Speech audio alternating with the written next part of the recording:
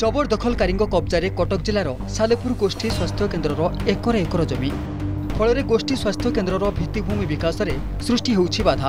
ସ୍ୱାସ୍ଥ୍ୟ କେନ୍ଦ୍ରର ଜମିକୁ ଜବରଦଖଲକାରୀଙ୍କ କବ୍ଜାରୁ ମୁକୁଳାଇ ସ୍ୱାସ୍ଥ୍ୟ କେନ୍ଦ୍ରକୁ ହସ୍ତାନ୍ତର କରିବାକୁ ତହସିଲ ପ୍ରଶାସନକୁ ବର୍ଷେ ପୂର୍ବରୁ ସ୍ୱାସ୍ଥ୍ୟ ବିଭାଗ ପତ୍ର ମାଧ୍ୟମରେ ଅବଗତ କରାଇଥିଲେ ବି ତହସିଲ ପ୍ରଶାସନ କୌଣସି ପଦକ୍ଷେପ ନ ନେଇ ନିଦା ବିଷ୍ଣୁ ସାଜି ବସି ରହିଛି ଯାହାକୁ ନେଇ ଦେଖାଦେଇଛି ଅସନ୍ତୋଷ। ଏହି ସ୍ୱାସ୍ଥ୍ୟ କେନ୍ଦ୍ର ଉପରେ ପନ୍ଦରରୁ ଅଧିକ ପଞ୍ଚାୟତବାସୀ ନିର୍ଭର କରୁଛନ୍ତି। ସରକାର staff quarter park meeting hall ପାଇଁ ଲକ୍ଷାଧିକ ଟଙ୍କା ବ୍ୟୟବରାଦ କରିଥିଲେ ବି ଜମି ଜବରଦଖଲ କବ୍ଜାରେ ରହିଥିବାରୁ କାମ ଅଟକି ରହିଛି। ସ୍ୱାସ୍ଥ୍ୟ ବିଭାଗ ଅଧିକାରୀ ଗତବର୍ଷ ତହସିଲ ପ୍ରଶାସନକୁ ଏନେଇ ଜଣାଇଥିଲେ। କିନ୍ତୁ ତହସିଲ ପ୍ରଶାସନ କୌଣସି ପଦକ୍ଷେପ ଗ୍ରହଣ କରିନଥିବା ଅଭିଯୋଗ ହୋଇଛି।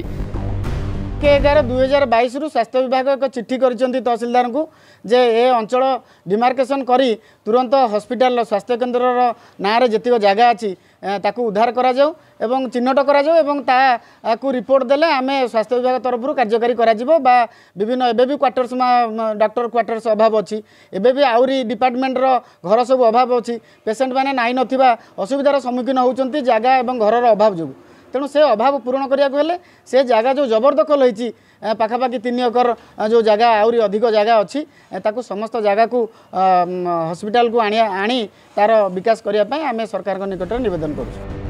ବର୍ଷା ଦିନ ପରେ ସମସ୍ୟାର ସମାଧାନ କରିବାକୁ ପ୍ରତିକ୍ରିୟାରେ କହିଛନ୍ତି ସାଲେପୁର ତହସିଲଦାର ଯାହା ତହସିଲ ପ୍ରଶାସନର ସ୍ଥିତି ବୟାନ କରୁଛି। ତହସିଲ ପ୍ରଶାସନର କାର୍ଯ୍ୟଶୈଳୀ ଉପରେ ପ୍ରଶ୍ନବାଚୀ ସୃଷ୍ଟି ହୋଇଛି। ଦାବି ପୂରଣ ନହେଲେ ଆଗାମୀ ଦିନରେ ଆନ୍ଦୋଳନାତ୍ମକ ପନ୍ଥା ଗ୍ରହଣ କରିବାକୁ ଚେତାବନୀ ଶୁଣାଇଛନ୍ତି ଅଞ୍ଚଳବାସୀ। ସ୍ଥାନୀୟ ପ୍ରଶାସନ ସହଯୋଗ କରୁନି। ତେଣୁକରି ଯଦି ଏହା ଆଗାମୀ ଦିନରେ ତାକୁ ସ୍ଥାନୀୟ ପ୍ରଶାସନ ବା ତହସିଲଦାର ମଧ୍ୟ ତାକୁ ଉଚ୍ଛେଦ ନ କରନ୍ତି ତାହେଲେ ଆମେ ବାଧ୍ୟ ହୋଇ ଆନ୍ଦୋଳନାତ୍ମକ ପ୍ରଥା ଗ୍ରହଣ କରିବୁ। ଯେହେତୁ ବର୍ଷା ଦିନ ଏଟା ଡିମାର୍କେସନ୍ ହେଇନି ଆଉ ମାସ ଦେଢ଼ ମାସ ଭିତରେ ଟିକେ ପାଣି ଶୁଖିଲେ ଆମେ ତାକୁ ଡିମାର୍କେସନ୍ କରିକି ତାଙ୍କୁ ହସ୍ତାନ୍ତର କରିବୁ ଜମି ଆଉ। ଜବରଦଖଲ କବ୍ଜାରୁ କେବେ ଫେରିବ ସ୍ୱାସ୍ଥ୍ୟକେନ୍ଦ୍ରର ଜମି? କେବେ ହେବ ସ୍ୱାସ୍ଥ୍ୟକେନ୍ଦ୍ରର ବିକାଶ କାର୍ଯ୍ୟ? ତହସିଲ ପ୍ରଶାସନ ଜରୁରୀକାଳୀନ ଭାବେ ଜବରଦଖଲକାରୀଙ୍କ କବ୍ଜାରୁ ଜମି ମୁକୁଳାଇବାକୁ ଦାବି ଜୋର ଧରିଛି। ସାଲେପୁରରୁ ରତିକାନ୍ତ ପଟ୍ଟନାୟକଙ୍କ ରିପୋର୍ଟ ଅର୍ଗସ୍ ନ୍ୟୁଜ୍।